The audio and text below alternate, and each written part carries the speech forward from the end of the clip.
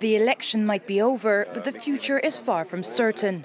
On Sunday, Montenegrins took to the polls in an early parliamentary election, which was meant to end deep political divisions and years of instability that have hampered the small NATO member country on its route to joining the European Union. Early polls are showing that the newly formed centrist movement Europe Now, led by Milojko Spajic, has secured a majority to win the elections, but without enough seats in the 81-seat parliament to form a new government on its own.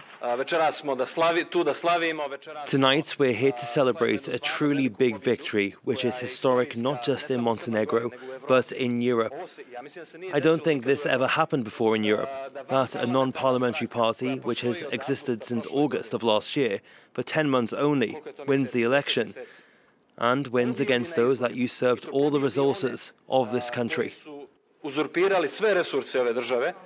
Unlike in previous elections, when the focal point of campaigning was whether the country should be leaning towards the EU or closer to Russia and Serbia, the economy and the living standards dominated the issues this time.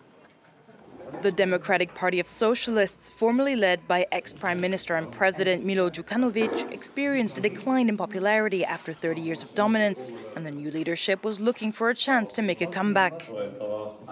Late Sunday night, the Center for Monitoring and Research pollsters said Europe Now won 25.6% of the votes and the Democratic Party of Socialists 23.7%.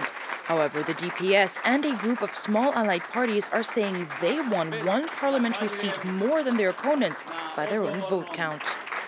The DPS, within the list of the coalition together, has the most mandates and is the strongest political power in Montenegro, with 18 of them. Europe Now movement has 17 mandates. You may think about lists. I'm talking about political powers. Things are clear and precise here. The State Election Commission is set to deliver the final results in the coming days, but the political instability is likely to continue, with no clear winner and difficult coalition talks ahead.